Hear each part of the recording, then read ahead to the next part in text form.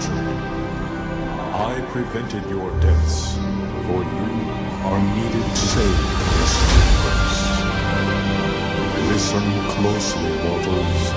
I have broken my sacred vow to only observe it will take.